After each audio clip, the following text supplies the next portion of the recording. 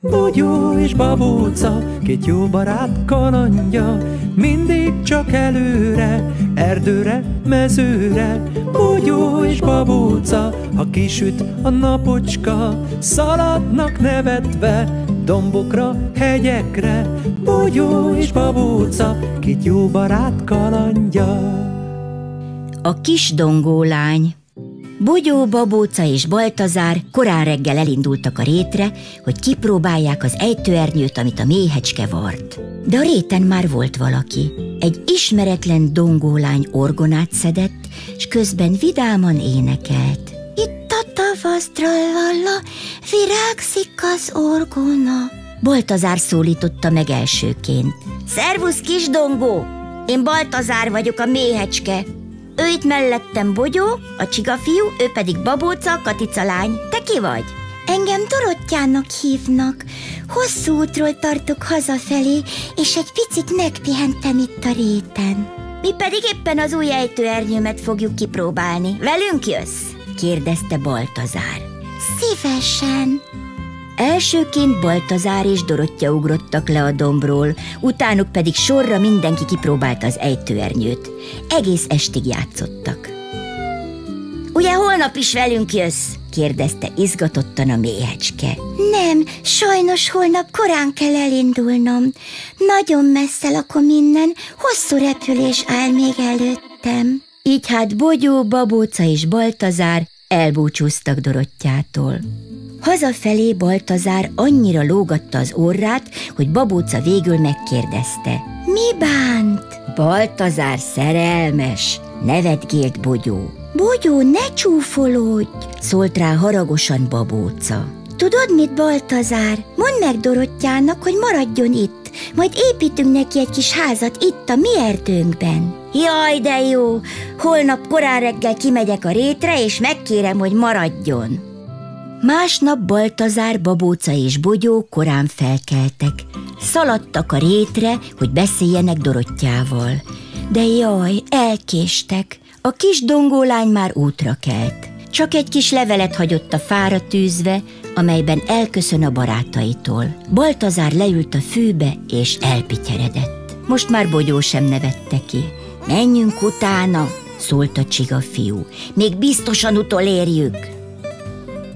Bogyó, te csigalassan vánszorogsz, így sosem érjük utol Dorottyát, keserget Baltazár. Bogyó már majdnem megsértődött, amikor egy süni lépett elő a bokorból.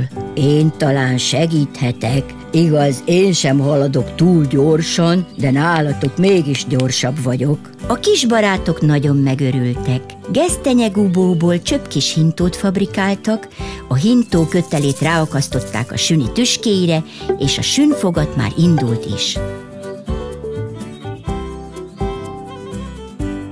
Pihenjünk egy keveset, javasolta babóca, amikor már besötétedett. Reggel folytatjuk az utat. De Baltazár megint pityeregni kezdett.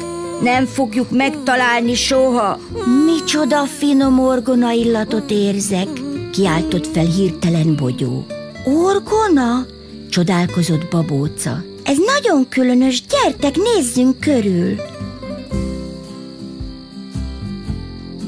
Nem volna kedved ezentúl a mi erdőnkben élni? Építenénk neked egy házikót, olyat, amilyet te szeretnél. Nem kellene visszarepülnöd messzi otthonodba. Nagyon örülnénk, ha velünk maradnál. Igen, úgy van. Nagyon örülnénk, helyeselt Bogyó és Babóca is. Köszönöm, boldogan maradok nálatok, mondta meghatottan Dorottya. Ilyen nagy utat tettetek meg, hogy utolérjetek, igazán nagyon kedves tőletek. Beültek a sünifogadba, és visszatértek a mezőre. Másnap korán reggel munkához láttak. Szép kis házikót építettek Dorottyának az Orgona mező határában. Amikor a dongóház elkészült, nagy ünnepséget rendeztek. Eljött az erdő apraja nagyja, késő estig táncoltak, lakmároztak, vidám mulatsággal köszöntötték az erdő új lakóját. Bogyó és babóca, két jó barát kalandja. Vendel korcsolyázik. Egy téli napon Bogyó és Babóca a tóparton sétálgattak. A tó vize vastagon befagyott. Gyere, babóca, csúszkáljunk egyet a jégen, javasolta a kis csiga. A Katica lány boldogan beleegyezett.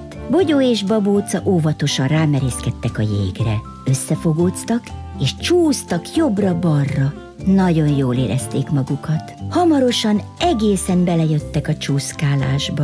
Néha elestek, nagyokat nevettek, aztán felálltak és folytatták.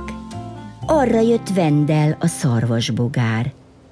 Vendel, próbáld ki te is! Gyere velünk csúszkálni! hívta barátját Bogyó. Vendel kicsit félt ugyan, de kíváncsi volt, ezért rálépett a jégre. Kiáltott nyomban, mert lábai kicsúsztak alóla, és hanyat vágódott. Bogyó és Babóca rögtön odaszaladtak barátjukhoz. Gyere, Vendel, majd mi segítünk! Azzal Bogyó és Babóca közrefogták Vendelt, és óvatosan elindultak a jégen. Akkor most elengedünk, és próbáld meg egyedül, kiáltott Babóca. A csiga fiú és a Katica lány elengedték Vendelt. Lassíts, Vendel! Kiabált Babóca. Vendel megpróbált megállni, de lábai szétcsúsztak a jégen, és egyenesen beleszáguldott a üskés bokorba. Segítség! Jaj! Össze-vissza szurkáltak a tüskék, megsérült a szarvacskám, nagyon fáj! Babóca már szaladt is, hogy megvizsgálja a szarvacskáját. Ne búslakodj, mondta Babóca, és bekötötte Vendel sérült szarvát pöttyös sálával. Ekkor egy csodaszép bogárlány siklott elő a bokor mögül. Olyan könnyedén csúszott a jégen, mintha súlytalan lett volna. Na hát, ki vagy te? kérdezte Babóca. Milla vagyok, a hóbogár. Szia, Milla! Ő Babóca, a Katica lány, ő Vendel, a szarvasbogár, én pedig Bogyó vagyok, a csiga fiú, mondta illedelmesen Bogyó. Hogyan tudsz ilyen szépen gyorsan siklani a jégen? kérdezte Vendel. Korcsolyával, felelte a hóbogár. Egy olyan cipőcske, amivel csúszkálni lehet a jégen. Rá kell csatolni a csizmára. Ez a korcsolya éle, ez siklik a jégen. Te készítetted? kérdezte kíváncsian Bogyó. Igen, én készítettem. Igazán nem nehéz. Ha szeretnétek, készíthetünk nektek is. Hurrá! kiáltottak fel egyszerre, mint hárman. Bogyó, Babóca, Vendel és Milla együtt sétáltak ki az erdőbe. Milla alaposan megnézte a földön heverő faágakat, végül kiválasztott egy szép nagyot. Ezután munkához láttak, fűrészeltek, csiszoltak, fúrtak, faragtak, csavaroztak. Mindenki kivette a részét a munkából. Készen van, jelentette ki elégedetten Milla. Az asztalon három pár vadonatúj korcsolyacipő sorakozott. Bogyó és Babóca kicsit félve csatolták fel a korcsolya talpakat. Legjobban persze Vendel aggódott. Bogyó és Babóca összefogódzva indultak el a jégen, Vendelnek pedig Milla segített. Na hát, korcsolyával sokkal könnyebb siklani a jégen, mint csizmában, nevetett Vendel. Milla sokáig haladt kézen fogva Vendellel. Egyszer aztán elengedte, és a szarvasbogár egyedül siklott tovább a jégen. Vendel hamarosan megtanult kanyarodni, elindulni és megállni is. Sikerült! Tudok korcsolyázni! Kiabálta a nap végén Vendel boldogan.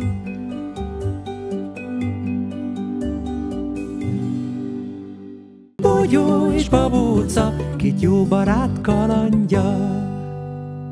Gombócok egy őszi napon Babóca a Katica lány szilvás gombócot főzött, és meghívta a barátait ebédre. Eljött Bogyó, Baltazár, Vendel és Pihe. Együtt megterítettek és asztalhoz ültek. A Katica lány három gombócot tett minden tányérba. Bogyó Babóca és Pihe hamarosan jól is laktak. Hmm, szilvás gombóc, imádom! Akár ötöt is meg tudok enni, mondta Baltazár a méhecske. Még hogy ötöt, én hetet is, vágta rá Vendel. Hetet? Jó, akkor én nyolcat. Én pedig tizet, jelentette ki a szarvasbogár. Jó, akkor versenyezzünk, zárta le a vitát Baltazár. Lássuk, melyikünk tud több gombócot enni. Babócának nem tetszett a dolog, megpróbálta őket lebeszélni, de a fiúk hajthatatlanok voltak. Ennek nem lesz jó vége, figyelmeztette őket, de Baltazár és Vendel nem hallgattak rá. Eddig három gombócot ettünk, most jöjjön a negyedik, javasolta Vendel, és újabb gombócot pakolt mindkét tányérba. Amikor mindketten végeztek, újabb gombócot vettek, és megették az ötödiket is. Az ötödik után megették a hatodikat, a hatodik után megették a hetediket, a hetedik után megették a nyolcadikat, és utána a kilencediket. Most jön a tizedik, bírod még? kérdezte Baltazár. Ugyan, kétszer ennyit is meg tudok enni, legyintett lazán Vendel. Már nagyon sok gombócot megettek, amikor mindkettejüknek fájni kezdett a hasa. Egyre jobban és jobban fájt. Elszaladok Bakoly doktorért, mondta Pihe, a lepke kislány. Bagoly doktor megvizsgálta őket, és dühösen szónokolni kezdett. No hát, a kilátott már ilyet? Persze, hogy fáj a hasatok. Mindketten tizenöt gombócot ettek. Na tessék, ráadásul döntetlen lett a verseny. Három napig diétázni fogtok. Semmi más nem ehettek, csak főtt krumplit de éppen holnap jön az erdőnkbe a kürtös kalács árus. Szólalt meg kétségbeesve Vendel. Nagyon sajnálom, de most kimaradtok a kürtős kalácsból. Három nap múlva gyertek el hozzám, hogy újra megvizsgáljam a hasatokat. Szólt szigorúan Bagoly doktor, és már indult is haza. Másnap meg is érkezett a nagy rétre a bodobács illatozó kürtős kalácsaival. Az erdő lakói mind boldogan csemegésztek, válogattak a sok finomság között. Én fahéjasat kérek, mondta babóca. Én kókuszosat, tülekedett bogyó. Nekem egy cukrosat adjatok, kiáltott Pihe. De volt diós, mákos, sőt, kakaós is. Baltazár és Vendel szomorúan nézték a vidám vásárt, de szót fogadtak Bagoly doktornak. Amikor letelt a három nap, a méhecske és a szarvasbogár felkereste a doktort. Na, lássuk, dünnyögött a bagoly, és alaposan megvizsgálta őket. Rendben, meggyógyultatok, látom, szót fogadtatok. Hát igen, lógatta az orrát Vendel, pedig úgy szerettem volna én is kürtös kalácsot enni. Vendel és Baltazár elbúcsúzott Bagoly doktortól, és már indultak is hazafelé, amikor a Bagoly utánuk szólt.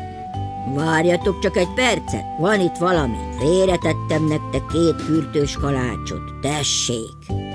Na hát, Bagoly doktor, te is kimentél a rétre. Hát persze, vettem a kalácsból a fiókáimnak, ezt a kettőt pedig nektek tartogattam. Szépen betartottátok, amit kértem tőletek, ti se maradjatok ki a finomságból. Köszönjük, mondta boldogan Baltazár és Vendel, majd megölelték Bagoly doktort.